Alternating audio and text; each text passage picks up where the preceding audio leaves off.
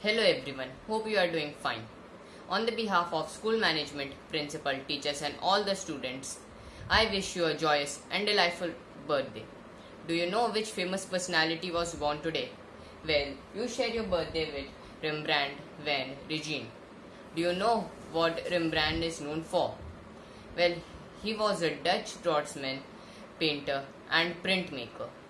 He is one of the greatest visual artists in the history of art and the most important in Dutch art history. He has received recognition for his beautiful artwork and printmaking and has won everybody's heart for paintings like The Night Watch and Jewish Bride. Wish you all a wonderful birthday once again. Stay safe, stay healthy, and keep smiling.